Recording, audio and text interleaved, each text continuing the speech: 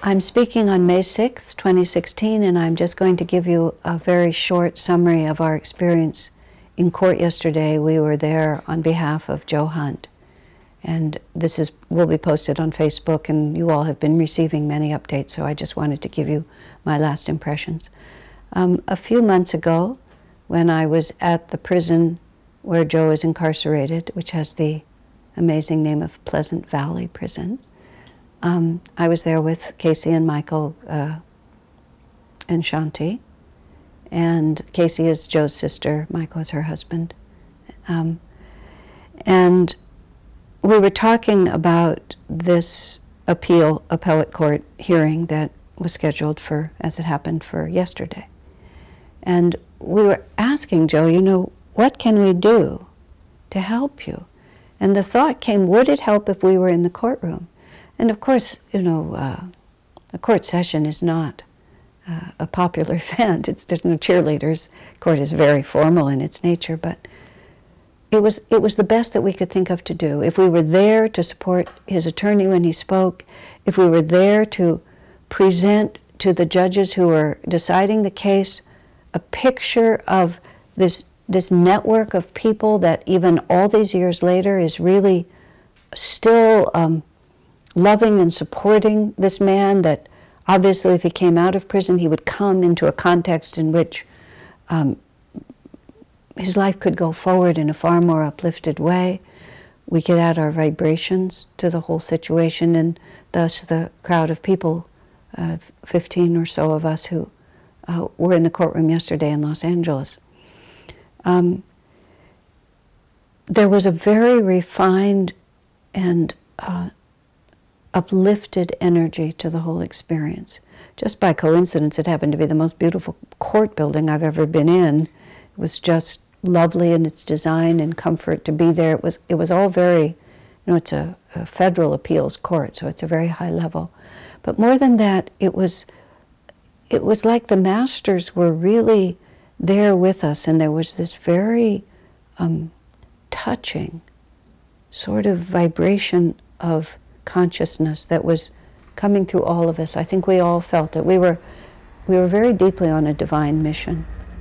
And the attorney who represented uh, Joe's appeal, Dennis Reardon is his name, he's a well known attorney and with very good cause, um, very well prepared, very in, intelligent and clear minded in his presentation, an excellent um, approach to the issues, and very passionate in his presentation, which was very satisfying because um, these are not impersonal matters.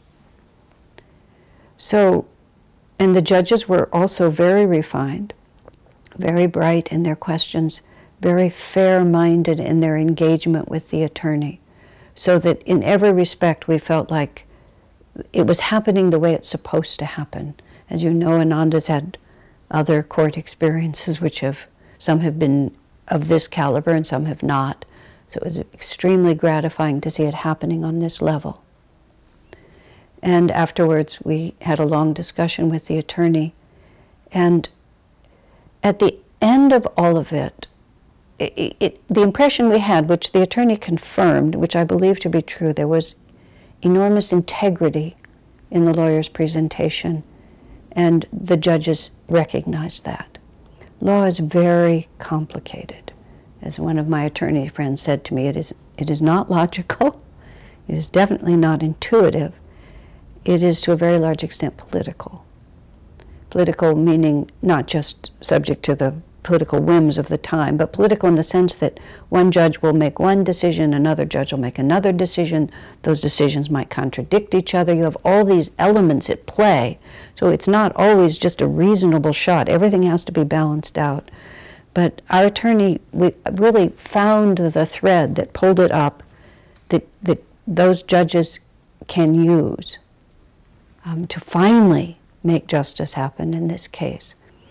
And after we had a long discussion with the attorney, the attorney, and he was exactly with us as he had been in court, very well prepared, extremely intelligent, very fair-minded, very articulate, and very passionate about this case. And then we all walked away from there. And the feeling that I had, which one doesn't always have this, I really felt like on the human level, we had done everything we could do. You know, many of you around the world are and have been praying for Jairam, as Joe Hunt is now called. We're praying for Jairam. We're praying for the judges. We could feel that. We had made the effort to be there in, a, in just the right way. The attorney had done his part. The judges had done, you know, their part. They have more to do. And now it really is in God's hands. And the next weeks are critical.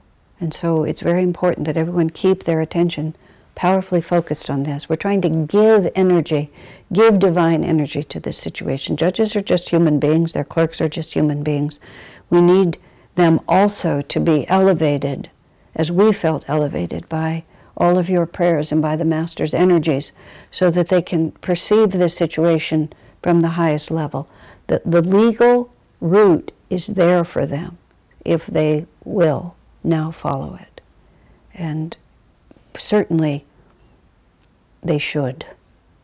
And certainly by every, every understanding that I and us can apply to this, and Swami's own point of view on this all these years, you know, he needs to be released from jail. Ram needs a victory here, Jai Ram. And that's what we're hoping for. So we, we went through that adventure, and now it's really in God's hands and up to us to hold this so powerfully in the light um, that justice will prevail. And um, in the Bible it says, Jesus says, you know, I was in prison and you visited me. I often think about that. And I often think about it in reverse. If our karma brought us, any one of us, which it could, you never know, to some extremely difficult circumstances Jairam fa is facing in this karma. Think what it would mean, I think to myself, think what it would mean to me to know that all my brothers and sisters hadn't forgotten me, but were holding me in their hearts at all times. So this is our opportunity to serve in this way. And on Jairam's behalf and his family and Swamiji and all of us, you know, let us unite our spirits in this righteous cause. God bless you.